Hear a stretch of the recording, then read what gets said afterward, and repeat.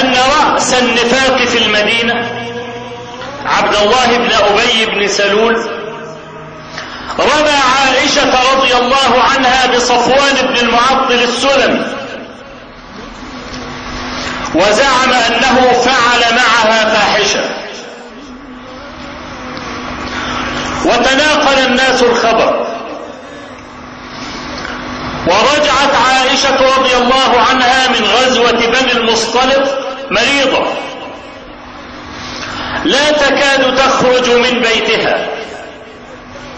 والناس يتحدثون وهي لا تدري. لكن رابها شيء. لم تجد له تفسيرا. قالت ورابني أني لا أجد اللطف الذي كنت أجده من رسول الله صلى الله عليه وسلم حين أشتكي. إنما كان يدخل. فيقول كيف تيكم؟ وتيكم اسم إشارة للبعيد. وهي إشارة إلى بعده عنها. ولا يقول أكثر من ذلك. ولا يجلس. حتى خرجت عائشة رضي الله عنها يوما مع أم مصطح وكان مصطح من الذين تناقلوا حادثة الإفك فعثرت أم مصطح في مرضها عثرت في ثيابها. فقالت تعس مصطح. قالت عائشة فأنكرت عليها. وقلت لها أتسبين رجلا شهد بدرا؟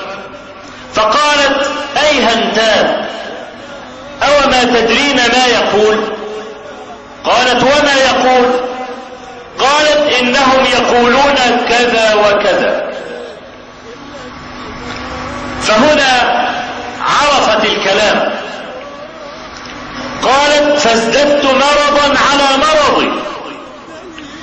واستأذنت رسول الله صلى الله عليه وسلم أن أذهب إلى بيت أبوي لأستوثق الخبر. فلما إلى أبيها. فقالت يا أبتي ما هذا الذي يتحدث به الناس؟ قال والله يا ابنتي ما أدري ما أقول. قالت أو قد تحدثوا بهذا؟ فازدادت مرضا على مرض. وطفق النبي صلى الله عليه وسلم يستشير أصحابه في أهله في فراق أهله. أيفارق عائشة أم لا؟ فكلهم يثني خيرا. سأل أسامة بن زيد فقال يا رسول الله أهلك ولا نعلم عنهم إلا خيرا.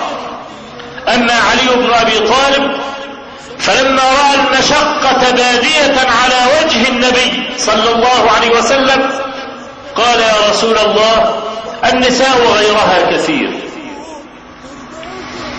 فصعد النبي صلى الله عليه وسلم المنبر. فقال ألا من يعذرني من رجل بلغني أذاه في أهلي؟ فوالله ما أعلم عن أهلي إلا خيرا. فقام سعد بن معاذ سيد الأوس وقال يا رسول الله أنا أعذرك منه. إن كان من الأوس ضربت وإن كان من إخواننا من الخزرج أمرتنا ففعلنا أمرك فثار الحيان. بعدما قال سعد بن عباد لا تهاب لسعد بن معاذ والله لا تستطيع ولا تقدر. فقام أسيد بن حضير فقال لسعد بن عبادة إنك منافق وتجادل عن المنافقين. فثار الحيان في المسجد بالسلاح وهموا بالاقتتال ورسول الله صلى الله عليه وسلم يخفضهم بيديه حتى سكنوا. فلم يضر بالمسلمين محنة كانت أشد عليهم من هذه المحنة. اتهام زوجة النبي في عرضها هذا عار زوجها لو كان هذا جرى إن الزنا دون الشرك لكن الزنا عار بخلاف الشرك. لم يعير إبراهيم عليه السلام بكفر أبيه. ولم يعير نوح ولا لوط صلوات الله وسلامه عليهم. إنما الزنا عار.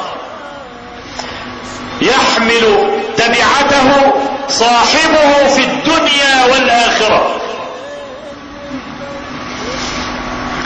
تتهم طاهرة الزين حصان رزان ما تزن بريبة وتصبح غرفا من لحوم الغوافل. طاهرة الزين وحبيبة النبي صلى الله عليه وسلم والصديقة بنت الصديق. كان أقصى منى عائشة رضي الله عنها وأعلى أمانيها. أن يرى النبي صلى الله عليه وسلم رؤيا يبرئها الله بها. وفي ذات يوم دخل النبي صلى الله عليه وآله وسلم وجلس على طرف السرير وكانت أول مرة يجلس فحمد الله وأثنى عليه وقال يا عائشة إن كنت ألممت بذنب فاستغفر الله فإن العبد إذا اعترف بذنبه وتاب تاب الله عليه. ففهمت عائشة من هذا الكلام أن هذا فيه اتهام بالرمي إشعار بالتهمة. فقالت لأبيها أجب رسول الله. فقال والله يا ابنتي ما أدري ما أقول. فقالت لأمها أجيبي رسول الله. فقالت والله يا ابنتي ما أدري ما أقول. قالت فقلت وأنا جارية حديثة السن. لا أقرأ كثيرا من القرآن. والله لو قلت لكم إنني ما فعلت والله يعلم أنني ما فعلت. لتصدقنني ولو قلت لكم إنني فعلت والله يعلم أنني ما فعلت. لتصدقنني. فوالله لا أجد لي معكم مثلا إلا كما قال أبو يوسف. فصبر جميل. والله المستعان. قالت عائشة رضي الله عنها ولم يخرج أحد من البيت حتى أنزل الله عز وجل براءتي ولا أنا أحقر في نفسي من أن ينزل الله قرآنا في شأني لكن الذي كانت تطمح إليه كما قلت أن يرى النبي صلى الله عليه وسلم رؤيا يبرئها الله عز وجل بها. ماذا قال الله عز وجل في شأن هذه الحادثة؟ قال لا تحسبوه شرا لكم بل هو خير لكم.